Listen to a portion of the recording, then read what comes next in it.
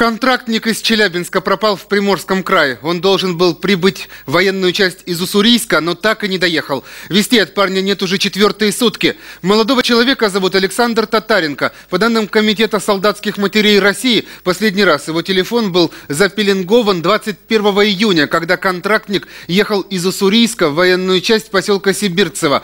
Накануне исчезновения Александр отправил логин и пароль от аккаунта во ВКонтакте друзьям, где оставил странное сообщение сообщение. Если ты это читаешь, то меня нет в живых. Я вставлю тех людей, которые виноваты в этом. Покажи это сообщение моим родителям и скажи, что я их люблю. Думал, что я сильный, но это не так. Простите меня все и за все. Я дурак.